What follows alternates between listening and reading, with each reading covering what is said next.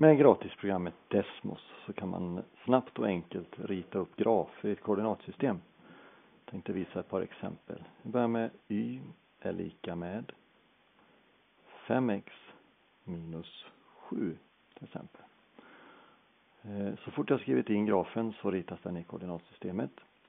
Och man kan då till exempel om vi zoomar in lite grann här så kan vi se att eh, det blir en liten prick där på 0 minus 7. Och det är helt enkelt var skär den, den här y-axeln. Och det är ju i, just i minus 7, det ser man ju här uppe då. Var skär den x-axeln då? Då klickar vi här och ser vi att den skär x-axeln i 1,40. Det är ju helt enkelt att om y är 0, vad vilket x är det då? Det är ju 1,4. Ta bort de där. Eh, om jag ritar dit ytterligare en funktion. Jag, tar, eh, jag kanske ska visa det här tangentbordet förresten. Klickar man på tangentbordet där nere så får man upp, så kan man skriva där om man till exempel använder en iPad. Så y är lika med, vi kan ta 6 minus 2x den här gången. Och den här gången blir den röd. Då ser vi den röda linjen där. Ta bort det. Eh, man kan flytta koordinatsystemet. Så. Och då tittar vi här då, vi har inget x vid sexan här så det är ju alltså var den skär y-axeln. Det har vi där i punkten 06.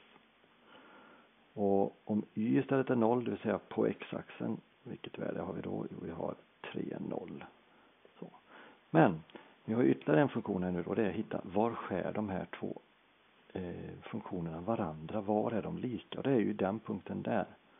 Då om jag klickar på den så ser vi att det är ungefär 1,857 på x-värdet och 2,286 på y-värdet. Vill jag ha den mer noggrann så kan jag helt enkelt zooma in där. Nu ska vi se. Ja, det kanske var så exakt som det kan bli. Nej, nu blir det ytterligare en decimal där.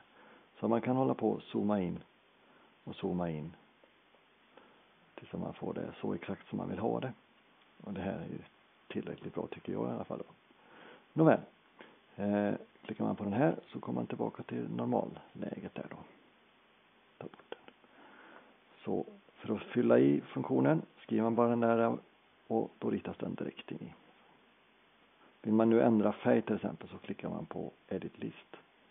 Klickar på den färgklumpen där och så väljer man vilken färg till exempel lila eller orange den också eller blå eller sådär.